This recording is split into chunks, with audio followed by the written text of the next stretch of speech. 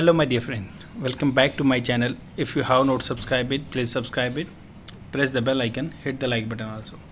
Friends जैसे कि आप जानते हैं, मैं डेली एक वीडियो लेकर आता हूँ। अगर आप इंग्लिश स्पीकिंग करना चाहते हैं this video is pen H F अगर आप कम्पिटिटिव एग्ज़ाम की तैयारी कर रहे हैं तो definitely it will help you out in cracking all your exams तो स्टार्ट करते हैं without further do keep up the pressure keep up keep up क्या होता है? कंटिन्यू रखना। कीप कीप अप एक फ्रेजल वर्ब है। कीप अप बोलते हैं ना कीप अप रोलिंग मान लो आप प्रोग्रेस करना स्टार्ट करते हैं तो बोलते हैं just keep keep up rolling तो वैसे ही कीप अप रखना द प्रेशर प्रेशर को रखना। यह आर्टिकल है इंडिया और पाकिस्तान के एक, दो ट्वेंटी सिक्स एलेवन अटैक हुआ था। उसमें बंदे को सजा मिलने के रिलेटेड एक आर्टिकल है। और इंटरनेशनल रिलेशनशिप के लिए political science and international relationship के लिए भी बेनिफिशियल है। इंडिया मस्ट सिक सिक होता मांगना। मांग रखना, वो बोलते हैं ना, मांग रखना। मांग रखना।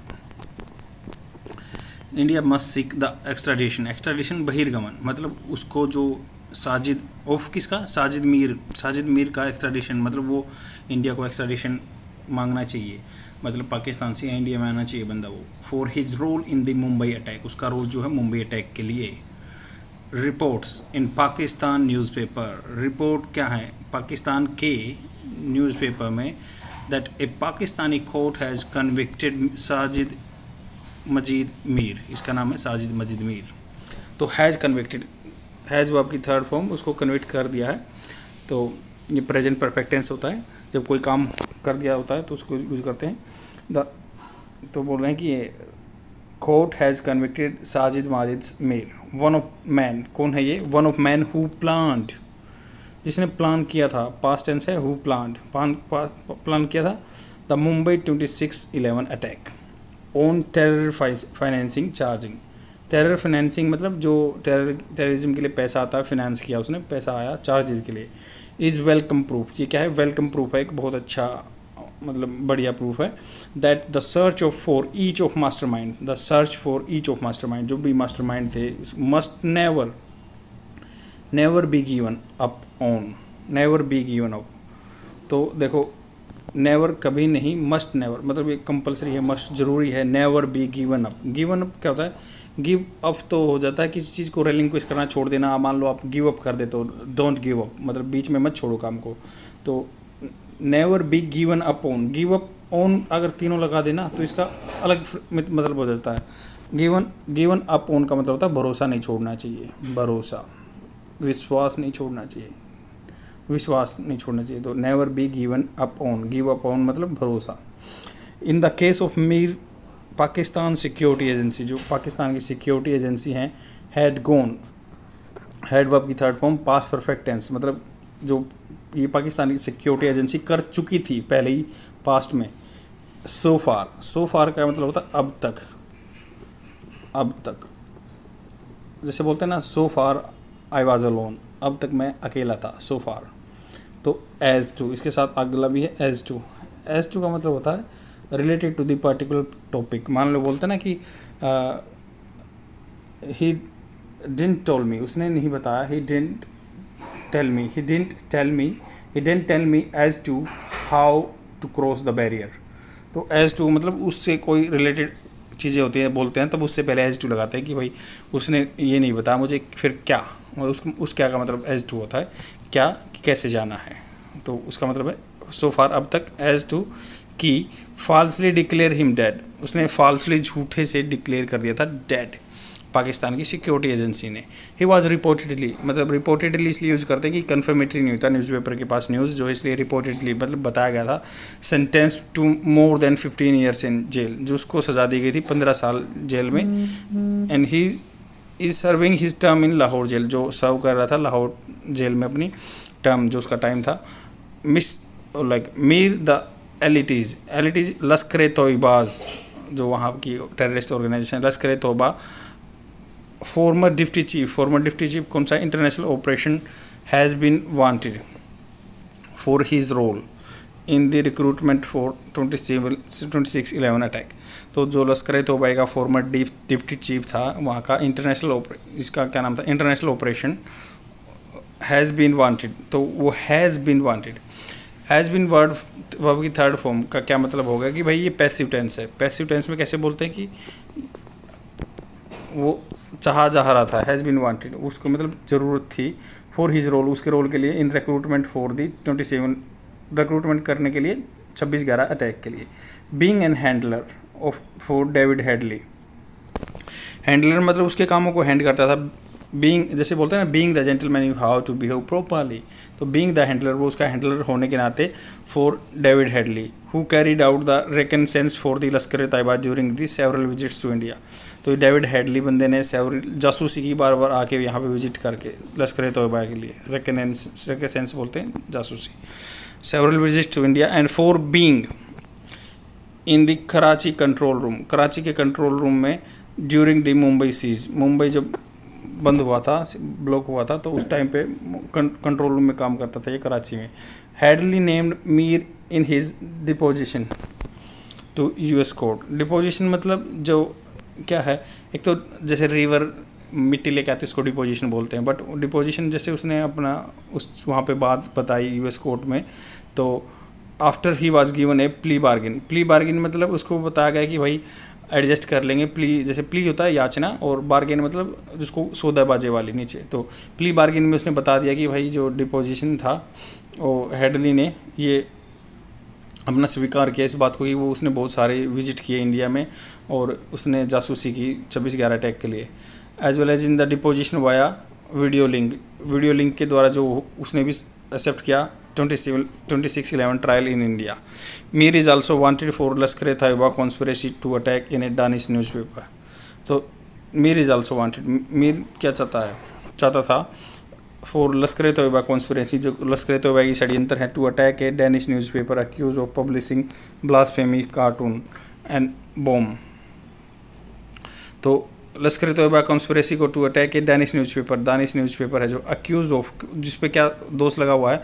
Publishing blasphemous blasphemous मतलब निंदा करने वाला cartoon and bomb a nuclear installation in Australia तो उस पर दो चीज़ लगी हुई है दानिश न्यूज़पेपर का जो इसने ब्लास्ट फ़ेमस ब्लास्ट फेमी क्या था? गोड की बुराई करना, अल्लाह की बुराई करना उस पर भी अटैक करने या बोम कहाँ पे? ऑस्ट्रेलिया में भी न्यूक्लियर इंस्टॉलेशन पे भी उसके मतलब वो था, उस पर चार्जेस थे। चाहता था वो।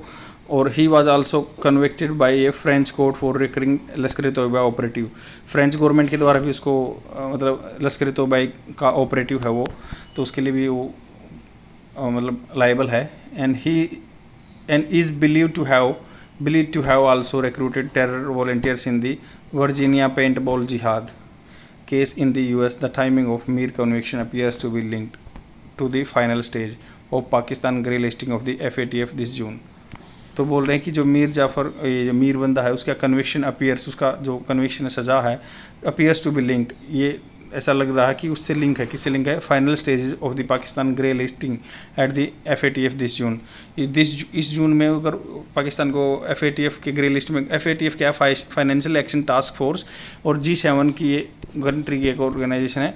और इसमें क्या एक पैरेलल ऑर्गेनाइजेशन है? ये जो टेररिस्ट फाइन मान लो टेररिस्ट फंडिंग होती है या मनी लॉन्ड्रिंग का काम होता है, उस कंट्री को ग्रे लिस्ट में रख देती है कि मॉनिटर करती है कि इसके पैसे कैसे लेते हैं लेते हैं, नहीं तो ब्लैक लिस्ट में बंद कर देते हैं। तो इसको भी ये जो सपोर्ट कर रहे हैं मीर को, इसलिए इसको ग्रे लिस्ट में रखा गया। And that voted to allow on site visits in Pakistan with a view to delisting it's next in the next few month तो ये बोल रहे हैं कि भाई ऑन साइट विज़िट करेंगे, वहाँ जाके पाकिस्तान में ये F A T F forces बनते हैं जो टू डिलिस्टिंग डिलिस्टिंग करेंगे रिलिस्ट नेक्स्ट कुछ अगले महीनों में। While Mir is not actually on the U N security council one two six list U N security council में रेजोल्यूशन लेके आते हैं कि जिसका जैसे असूद मसूद अजहर को बनाया गया था वन टू सिक्स रेजोल्यूशन आता है वहाँ पे लिस्ट में कि terrorist designated individual that F A T F is mandated to pursue मतलब वहाँ पे उसको इंटरनेशनल टेररिस्ट घोषित कर देते हैं तो उसके आने जाने के मोमेंट में कंट्रोल हो जाता है। अभी तक उसको मीर को नहीं रखा गया है।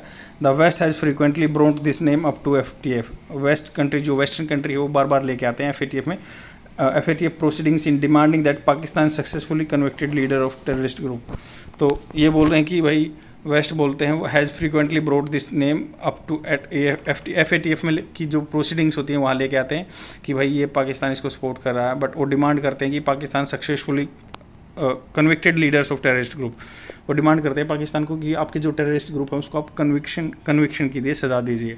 If Mir is in fact behind bar अगर मीर मान लो बिहाइंड बार जेल में है near Delhi must move quickly to demand his extradition mister Delhi और न्यू दिल्ली को क्या है?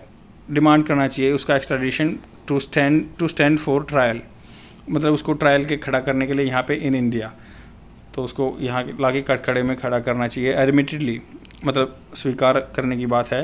This is a virtually impossible task अगर मान लो इसको एडमिट करें तो वर्चुअली क्या है? नेट के रूप से ये इम्पॉसिबल टास्क है given the poor state of bilateral ties दोनों देशों की बायोलेटरल टाइज बिल्कुल पुअर स्टेट में है।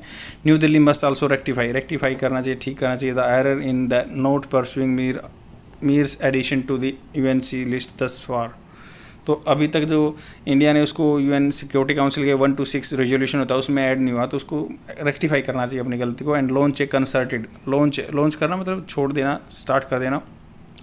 कंसर्टेड मतलब मिला जुला इकट्ठा international efforts for Mir to be prosecuted for the member number of terror attacks has been involve in he has been involve in तो वो नंबर ऑफ़ टेररिस्ट अटैक में इन्वॉल्व है तो उसके लिए उसको प्रोसिक्यूटेड होना चाहिए। Not just for terror financing अकेला टेररिस्ट फाइनेंसिंग के लिए नहीं एज विद हाफिज़ सैयद, जैसे जैसे एज क्या होता है, जैसे Hafiz Saeed, Zakir ur Rahman, Lakhvi and other Lashkar Taiba members it is necessary to keep spotlight on Mir spotlight मतलब जैसे एक्टर घूमता है ना स्पोर्ट लाइट आती है, उसको मतलब उसको फोकस में रखना। Given the pre direction pre direction होता है, झुकाव, किसी प्लो इनक्लिविटी या प्रोक्लिविटी बोलते हैं, झुकाव मतलब बोलते हैं ना कि I have predilection towards my like career मैं कैरियर की तरफ़ ज़्यादा ध्यान दे रहा हूँ तो वो बोल रहे हैं given the predilection of Pakistan legal authorities for reversing conviction तो ये दिया गया है कि भाई प्री डायरेक्शन है पाकिस्तान गवर्नमेंट का रिवर्स करने का, उसके जो सज़ा है and reducing the sentence of the terrorist once the heat from international agency reduce मान लो अगर एफ़ ए टी एफ़ या इंटरनेशनल एजेंसी हीट अपनी रिड्यूस कर देंगे, गुस्से में कम हो जाएँगे तो उसकी सज़ा कम कर देंगे। This will be particularly important ये विल बी होगा। दिस विल बी मान लो क्या है दिस विल बी कैसे यूज़ करते हैं? आपने सुना होगा कि बी के साथ तो विल बी के साथ तो वो की फ़र्स्ट फॉर्म और आई एन जी आता है। बट यहाँ पे तो आया नहीं हुआ है।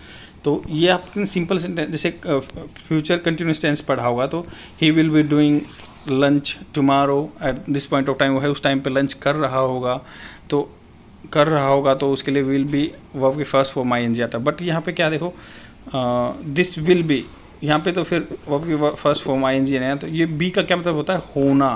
बी का मतलब एक हिंदी में होना भी होता है।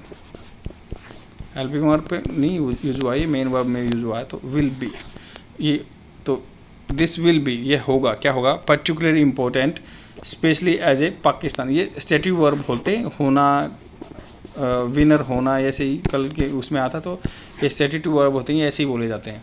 तो this will be particularly important या इंपॉर्टेंट होगा specially as Pakistan is expected to receive a full reprieve reprieve क्या था सज़ा से दोस्त मुक्ति exoneration at the F A T F in October October में वो एक्सपेक्ट कर रहा है कि अपने आप को ग्रे लिस्ट का end in must be made clear ये क्लियर करना चाहिए that government will continue to pursue pursue पीछा करना फॉलो करना मतलब इस चीज़ को कोई टास्क स्टार्ट किया, उसको फॉलो करेगी। The legal process against each of man behind the Mumbai attacks until they are brought to justice they are brought to justice मतलब वो तब तक वो न्यायालय के सामने नहीं ले के आ जाती या उनको मतलब जो उनकी सज़ा नहीं मिल जाती। आई होप आपको समझ में आएगा बहुत ही मतलब इंपॉर्टेंट आर्टिकल है। इसमें बहुत सारे वोकेबलरी वर्ड आए सेंटेंसेज आए फ्रेजल वर्ब आए, मैंने आपको बता दिया। ऐसे ही अपने कन्वर्सेशन को इम्प्रूव कीजिए। बहुत सारे वोकेबलरी वर्ड्स आपको मेरी प्ले लिस्ट में मिलेंगे। यूपीएससी की तैयारी करने के लिए भी बहुत सारा कंटेंट मिलेगा। Do not worry just keep continue your preparation okay friends bye for today net and हम डिस्कस करेंगे आगे वोकेबलरी वर्ड जो फ़र्स्ट वर्ड है सीज सीज मतलब ब्लॉक कर देना किसी चीज़ को। बोलते ना कि इसको सीजर आते हैं। सीजर भी सुना होगा आपने बहुत बंदे से कि इसके मतलब फेंट हो जाता, बेहोश हो जाता सीजर आते हैं। तो ऐसे ही सीज करना ब्लॉक करना सराउंड्स करना किसी चीज़ को। मान लो कोई डिफेंस फोर्सेज किसी चीज़ को सराउंड करती है, उसको भी सीज बोलते हैं। उसका आइटम सीज कर दिया सीबीआई ने ऐसे ही। कॉन्स्पिरेसी कॉन्स्पिरेसी षडयंत्र प्लान जो होता है, गहरी योजना। एक्स्ट्राडिशन प्रत्यर्पण मतलब किसी को निकलवाना वहाँ से एक्स्ट्राडिशन प्रीडायलेक्शन होता है, झुकाव, किसी चीज़ का प्रोक्लेविटी भी बोलते हैं। प्रोक्लेविटी इसका सिनोनिम्स होता है। प्रीडायलेक्शन भी बोलते हैं तो इसको झुकाव है इसका इंक्लिनेशन रिप्री होता है, माफ़ कर देना, मृत्युदंड से। द जज granted him a last minute reprieve keep up keep up continue करना। जैसे often they had to pause to allow him to keep up often they had to pause देखो, इसकी हिंदी बहुत ही अच्छे से सीख सकते हैं। ओफन क्या होता है? प्राय they had to had to जैसे हैव है। यू हाउ टू मतलब ये मस्ट का रिप्लेसमेंट होता है मॉडल वर्ब होता है। You have to work this you have to work hard तो वैसे ही हैड टू का, ये हैव टू का पास्ट है had to they had to pass pause pause मतलब रोकना, किसी चीज़ को to allow him to keep up उसको रोकने के लिए him to keep up continue रखने के लिए keep up the good work वैसे ही बोलते हैं गिवन अपॉन होता है, भरोसा रखना। To stop having faith to believe in someone और समथिंग गिव अप ऑन मतलब छोड़ देना टू स्टॉप हैविंग फेथ किसी में विश्वास कर देना, छोड़ देना। They were not about to give up on their heroes so easily तो दे वर नॉट वे ऐसे नहीं थे। They were not about to give up about to give up on मतलब भरोसा देयर हीरोज सो इजली वो अपने hero पर अपना फेथ छोड़ने वाले नहीं थे।